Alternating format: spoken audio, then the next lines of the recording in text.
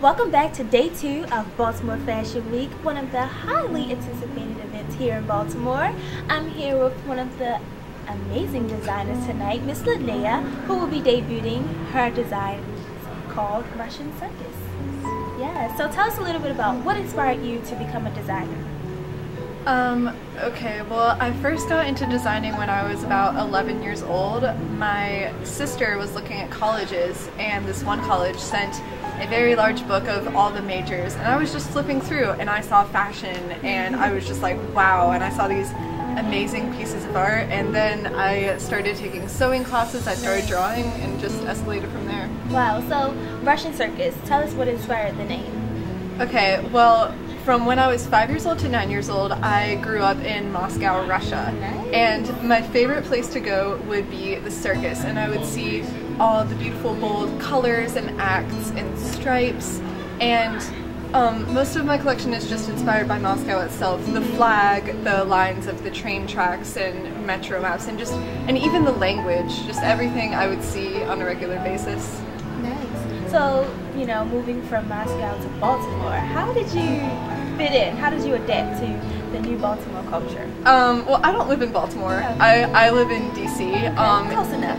yeah, it was it was really crazy. I was definitely the outsider. I was um, probably the only ten year old that didn't know what football or SpongeBob was. OMG. Yeah, so it was interesting, but you know, I'm doing all right now. I'm 18 years old. Nice. Still here. So, were you here yesterday this your first day? This is my first day. Okay. Have you been able to tour Baltimore a little bit? Um, no, not really. I don't know much about Baltimore. It seems like a really cool city, though. Yeah, so. it is. It is. We have a lot of different fashion here. It's similar to DC as well. So, what can you say from Russia to DC? What is the fashion? What are, what are the trends that are going on right now?